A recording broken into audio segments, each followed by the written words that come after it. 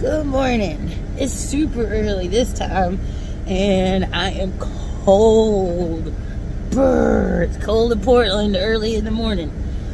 Um, yesterday, we went to the Oregon Museum of Science and Industry Museum, and then we went to the kids' part first. The lady at the front desk was like, oh, made it sound like it wasn't worth going. Honestly, if you were ever going to go on one of those contest shows where you had to like solve problems or puzzles or anything like that, I would highly recommend going to the Oregon Museum of Science and Industry to practice and train. They got all these things in there, like skill set, problem solving. Um, honestly, it would be an excellent training camp for Squid Games or one of those TV shows where you have to compete and things. So we went through the children's part and it was very interesting and I cannot quit thinking about the rest of the museum. So we went into the adult section. We didn't pay for the movies. They were 45 minutes long and it was extra and da da da. So we just got the real basic package. But it gave us access to view. Um, there was an AIDS quilt exhibit, um, which was symbolic and heart moving, but kind of sad um, and super beautiful. The quilt work was just spectacular. We didn't spend a lot of time in there though. So then we went on, and the main focus of the, um, uh, I guess the main focus of the, um, sorry about the pause, security is having a real hard time deciding what I'm doing in the truck. So, um, the main per, per, main the exhibit. The main exhibit was about orcas. And I had a hard time with that exhibit, to be honest with you.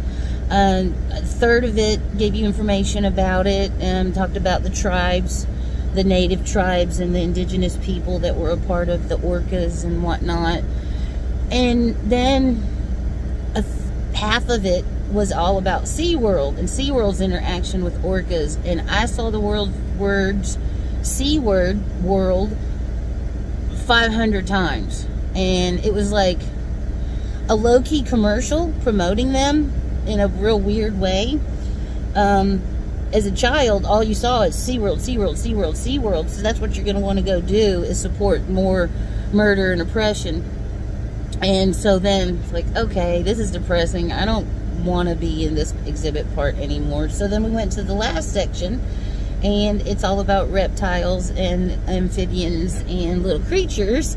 And so then we went into, we left the orca exhibit and then we went into the tortured, captive, caged prisoner section of the exhibit, which was a whole bunch of little reptiles and animals um, hiding the best of their ability and trying not to exist because their existence is in a small, oppressed place. And this chinchilla, I cannot quit thinking about this poor chinchilla. It looked so unhappy and its cage was so small and trash. It was some wood chips and a bright reptile light. And honestly, I just want to liberate that chinchilla. I cannot quit thinking about him. I feel so sorry for him. I think that the people of Portland should rally together and shut this bullshit down. But they're not going to. This place is cherished in the city. And so, really, honestly, the Oregon Museum of Science and Industry, you get two thumbs down. And one thumbs down is for stealing my money and tricking me thinking that it was going to have anything to do with science and industry because basically it was a commercial for SeaWorld. You should be paying me. And the second thumbs down, which is actually two more thumbs down, would be all the trapped animals in oppressive little terrible cages. So I can't quit thinking about the chinchilla. Um, I've got my contrasting and all that stuff today, you know, I got all that. But honestly, this chinchilla has got under me and I need to try to help him or her or whatever. So I'm going to be making several phone calls to the museum today and I'm going to maybe contact PETA because This is some trash. Oregon Museum of Science and Industry. I hope you go out of business.